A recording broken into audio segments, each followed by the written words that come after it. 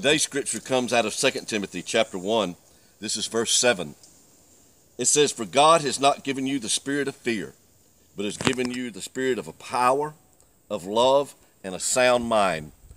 My, may I say laughingly, tongue in cheek, in today's society, it's easy for us not to have a sound mind.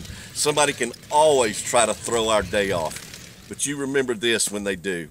God has given you a different spirit. You're a different person. You've been changed by the blood of the Lamb. So today, as you go about your work day or about your play day, may you remember the mind that God wants you to have is like the mind of Christ. You be blessed today and you be strong in your mind. Let's go get one.